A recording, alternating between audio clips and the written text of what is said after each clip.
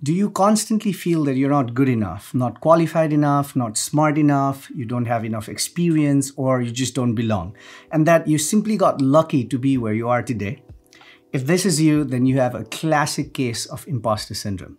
And you're not alone. A lot of software engineers suffer from some form of imposter syndrome. And if you don't take care of it early on, it can lead to anxiety and depression, becoming a huge resistance to your career progression. In this video, I'm going to give you some tips on identifying the root causes of imposter syndrome and how you can go about fixing them.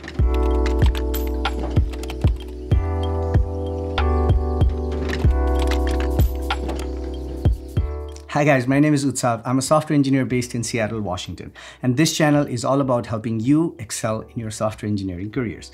And if you're into that, please consider subscribing. As usual, the reference materials from this video will be in the description below and I have timestamps, so feel free to jump to sections that interest you more. So there can be many reasons for imposter syndrome, but at least in the software engineering world, I see three main reasons surfacing over and over again. First, you think everyone around you is smarter than you, and therefore you question everything you do. So this happens frequently to people who have not gone through life according to society's textbook definition of success. If you ask people who feel this way what a successful career means to them, they will probably answer something like being a straight A student in school, acing all your advanced placement classes in high school, attending a top school, possibly Ivy League, applying to a handful of coveted jobs after graduation, and getting offers from most of them and likely working at a FANG company. But the problem with setting this as a standard of success is not that you gauge other people around you by this standard, but you always remind yourself that you failed with that standard. Have you ever wondered how many people around you have gone through this textbook path to where they are today? Probably none. Well, at least I didn't. I was pretty average student in school. I failed high school twice, believe it or not. Right after graduating college, I applied to 53 jobs and got rejected by all of them. So there's that. But even today, the most common DMs I get ask for things like whether they are doomed because they didn't do the textbook degree, or whether they should do competitive programming even though they dislike it a lot, or should they follow software engineering because the salary is good or their parents would like them to do so. All these things will set you on a long road where you feel that you aren't good enough or you just don't belong. And the best way to fix it is to let go of the notion of one golden path to success. There isn't one, trust me. Instead, follow your passion and do what you love. All right. Second, you lack the skills expected of you. For whatever reasons, you have lagged behind in keeping up with the skill set that is expected of you, whether due to family or medical reasons or just by being lazy or something else, you know. And now you feel that you're not qualified enough, which takes away from your confidence. And as a result, you feel like you don't belong. Look, software engineering is a very rapidly changing landscape within just the span of past 15 years, just around web technologies, we have gone through so many changes that if you've had a 15-year career and kept up with everything, you probably know Java, C++, PHP, CGI, HTML, CSS, Ruby, Visual Basic, .NET, C Sharp, JavaScript, Python, Sass, Less, TypeScript, Knockout, Backbone, Angular, React, Vue, Go, Rust, Swift, AWS, Azure, Lambdas, Functions, SQL, NoSQL, Message Queue, Distributed Queues, IoT, AI, Supervised Learning, federated learning. I can really go on for five more minutes.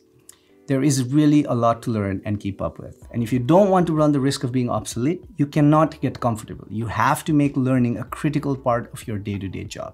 You don't need to be an expert on everything, but you need to have working knowledge of most of the current tech.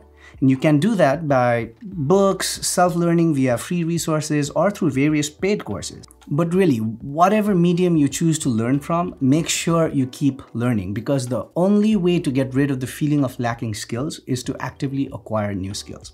I also have a few videos related to acquiring new engineering skills fast. So if you're interested in those, I will link them in the description below as well. All right, let's move on to the next one. So third, you think that you need to be an expert in whatever you're doing. You've probably been through multiple scenarios where you had to ask your mentor about something you're having trouble with and they give you the most elegant and precise solution. And you thought to yourself, wow, I could have never been able to come up with something like that. And that's true. You probably wouldn't because you did not have the experience, but they did. And that is the reason they were your mentor. The only way to become an expert is to gain experience, and that takes years and years of work. But you can be effective at doing things even when you're not an expert because there are many things that make your experiences unique. For example, when I wanted to talk about software engineering on YouTube, I have the same doubts. There are probably a gazillion people more qualified than me to talk about this topic. If you think of it, how many of these gazillion people are good at telling stories or sharing their experiences, or good at video recording and editing, good at relating and communicating with their subscribers and fellow software engineers? That puts me on a unique spot, right? Sure, there are definitely people even more uniquely placed than me, and they probably have a million subscribers, but that isn't the point. The point is that expertise is not always required to guide others. It helps, but isn't required.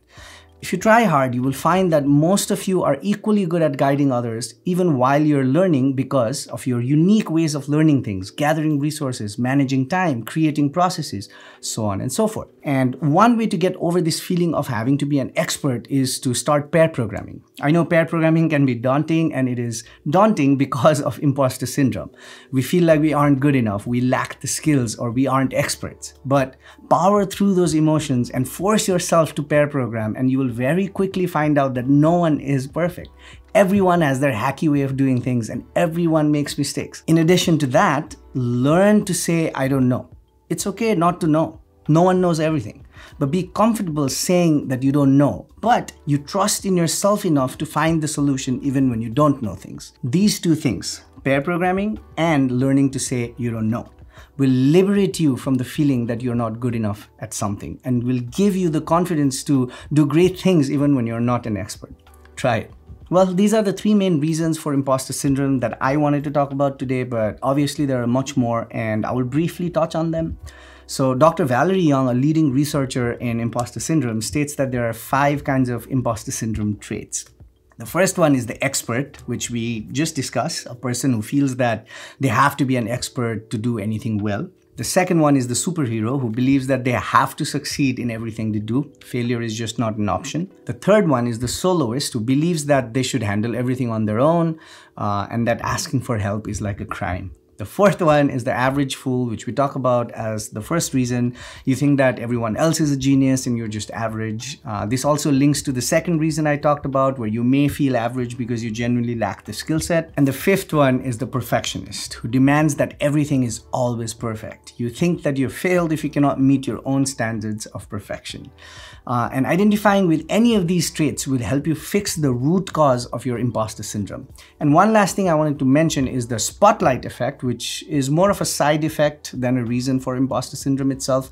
Uh, it's the feeling that everyone notices what you do, everyone is looking at you, everyone is concerned about you. But the truth is that everyone just wants to get by. They're concerned about their own problems. People rarely have time to focus that much on you. Whatever spotlight you're putting on yourself is a side effect of one or more reasons or character traits that I mentioned in this video.